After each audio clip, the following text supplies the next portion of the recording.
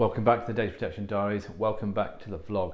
In today's video, we are going to be talking about the recent news that the Information Commissioner's Office here in the UK has announced that they are going to fine Clearview AI 7.5 million pounds for breaches of the UK GDPR and data protection law.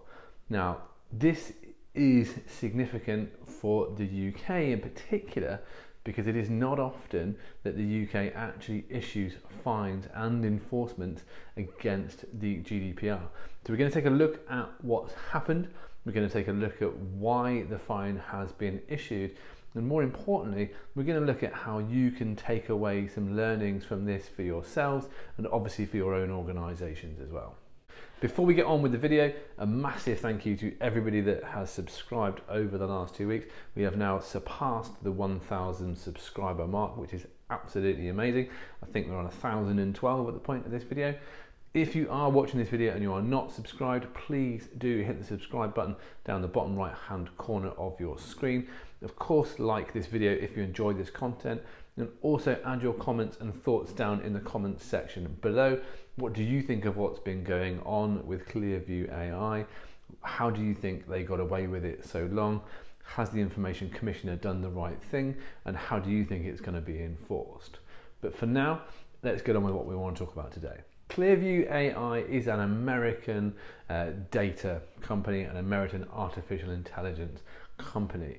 What they have been doing is they have been collecting billions and billions and billions of images of individuals, I think somewhere around 20 billion individual images of individuals basically from across the internet. So from publicly available sources, things like social media, any kind of um, online accounts, online uh, systems where you may have uploaded your information or uploaded your picture for identification purposes, they have collated all of those images, all of that information about all of these people, and essentially packaged it up and sold it as a solution to a variety of different companies. Now, some of these companies are commercial entities, but some of them are even public bodies. Certainly, the UK police force have been known to use Clearview AI. So Clearview AI basically creates a repository of facial images. So it creates a repository of people. Now companies can buy access to this information and access to the application. They can then upload a picture of an individual. Potentially if you're in the police, for instance, you could upload a picture of a suspect, somebody that you don't know. You can then use Clearview's technology to scan that image and compare it to all of the faces and the images contained within their databases, which can then potentially find links to people that look like the image that you have give you links to social media accounts, give you links to online public facing accounts where you can try and find out who that person is or potentially even garner a name for that specific individual. This raises huge concerns, not just here in the UK, but across the world about how information is being processed and used, who has access to it, and what rights and what controls people have over how that how that information is being used, who it's being sold to, and of course what the outcome of those activities are. It's incredibly scary that information that basically exists within the, the public domain can be so freely manipulated, bought, used, turned into a commercial entity without the individual having any knowledge of the fact that this has happened, without being given any information, and without being told how to stop this kind of activity from happening. Because of the very nature of how we socialize here in the UK, obviously our use of social media and the kind of proliferation of that it has become very clear that there are obviously huge numbers of UK based individuals whose information is potentially caught up within this database and within this system. And that information has been used by different commercial entities, including the UK Police Force, for a number and a wide variety of different uh, different circumstances. What's really really interesting in this case is that the ICO haven't just chosen to fine the organisation; they've also chosen to put an enforcement action in against them, which stops them from processing the information any further, and also requests that that information is deleted from the systems. Now, this is important because this isn't just about finding somebody and saying you've done something wrong, you shouldn't have done that, here's a monetary penalty. This is about saying you shouldn't have done it in the first place, you didn't have the right permissions, you haven't complied with data protection law, you have to stop using that information, and you also have to remove it from your system. Of course, the challenge here is that this is now an international issue. This is not a UK based organisation. This is a company based in the US being enforced upon by a UK regulator. So, are they going to listen? Are they going to take any notice? And is there going to be any real change? And at the minute, that's just something that we don't know. Having said all of that, let's not take this as being that there is nothing that we can do, there's no changes that we can um, enact because of who they are, because there are some fundamental key learnings that everybody and every organisation here in the UK and certainly around the world can take from this experience. The reasons that the organisation, the reason that Clearview is being fined and is being enforced in such a way are very, very clear. And the ICO has actually broken them down, and we can kind of look at those and start to translate them into real world uh, operational challenges so that everybody can actually learn something from it. So the first reason that they've been issued a fine and an enforcement notice is quite simply the information about UK individuals, UK citizens is not being processed fairly or transparently. Nobody has been told that their information is going to be used this way. Nobody has been told how they can have access to that information. There has been absolutely no transparency provided from Clearview. They've made no effort to contact people to let them know that their images are being stored, that their images are being processed, that their behaviors are potentially being profiled, or that their data is being sold to third parties for a range of different purposes.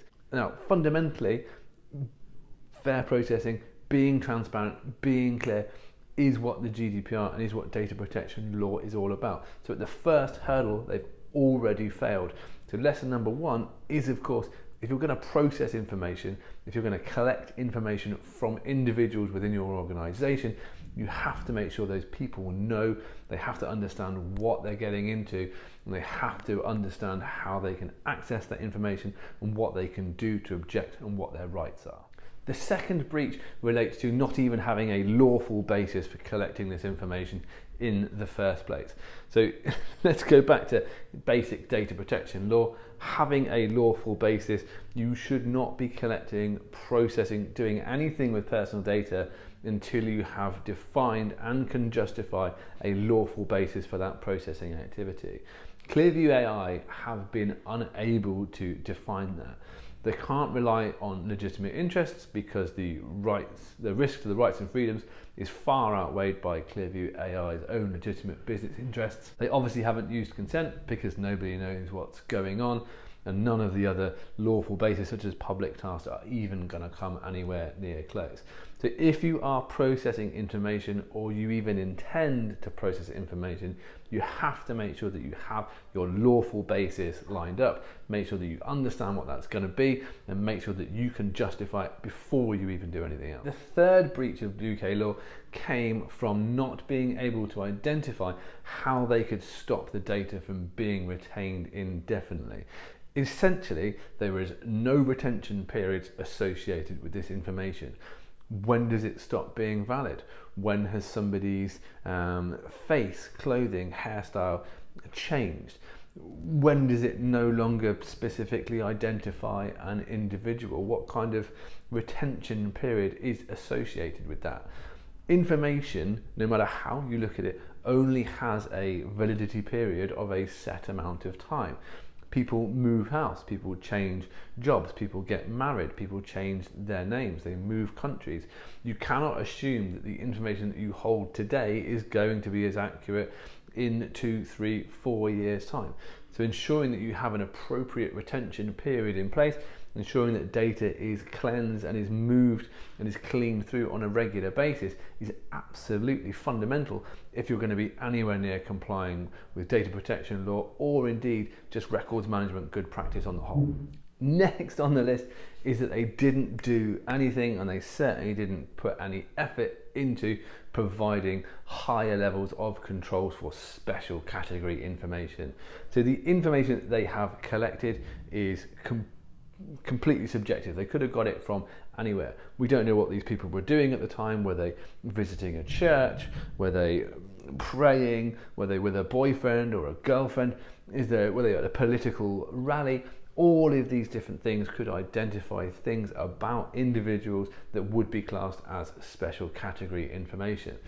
Clearview AI have done nothing to take care of the additional controls required for the collection of that information. Of course, they haven't got a lawful basis. We already know that. So they're not going to have a lawful basis for special category information. They're not explaining how you can gain access to it. They're not explaining how you can object to it. And they're certainly not looking at balancing the rights and freedoms of the individuals against their own commercial interests. If you are collecting special category information, I cannot stipulate it enough. Please do your due diligence. Please ensure that your lawful basis is accurate. Please ensure that you have run it through. Make sure that you are balancing the rights the risks and freedoms, and make sure you are only collecting the information that you really, really need to be able to deliver whatever process, whatever product, whatever service it is that you may be offering. And the final thing that they did is if it wasn't bad enough that they had images or they have images and pictures of all these different people is that when members of the public called in to comment or to ask if images about them are being uh, retained or stored they then asked for more information, information that is not already publicly available to allow them to try and identify where these people are.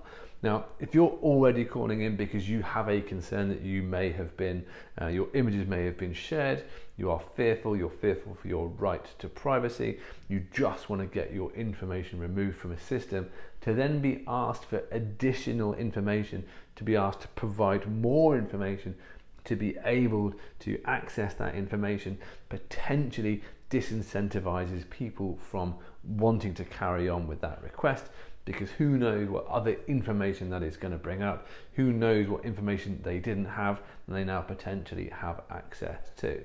The important thing here is when you collect information, no matter what you are collecting, no matter what your purpose of processing, ensuring that you only collect the minimum amount of information you need to be able to deliver your service is vitally important. You should not be putting people off from uh, retracting from your service, from objecting to processing by asking for information that you do not need to be able to, to assist them in their quest as I said at the beginning of this video, this is a global issue. It's just fortunate that the ICO and the Australian um, government, the Australian regulator, have come together to carry out this investigation. There are images stored of everybody from across the world. Some 20 billion images are estimated. That is images of me, images of you, potentially images of our families, of our family life, potentially of our children if those things are on social media. The scale of this really is unprecedented. So to actually see something coming out from the ICO is very, very good news. Can they back it up? Who knows? It's very, very difficult when you are looking um, at providing sanctions for companies in international um, places, companies in completely other countries, as we have already seen uh, with things like the Ukraine or the war in Ukraine. It can be very difficult to make people do things that they don't want to do when you don't have any jurisdiction there. For me, I think for all the stick that the ICO gets, for all of the things that they do, this is not a bad thing. They have demonstrated that they have some teeth. They've demonstrated they've done a good independent review of these activities. They've called out the issues. They've not just issued a fine, they've issued an enforcement notice to stop the processing, which can be much, much more important and can be much more damaging than just pushing a monetary fine on an organisation. So I do think that is a good thing, but I don't think this is the last we're going to hear of it. And I'm hoping that it's not just a case of trying to grab some headlines and you know and trying to demonstrate that that there's that the regulator cares and they can do something but that is yet to be seen please do add your thoughts and comments down below on this particular subject there's going to be a lot of viewpoints and a lot of opinions on this this is just the information that I have garnered today. This is Monday, the 23rd of June. This video isn't going to go out until Wednesday, so we'll probably be a bit behind. There is a full press release on the ICO's website, which I'll put down in the comments below as well. Of course, please do like, subscribe, all those wonderful things, and we look forward to seeing you again next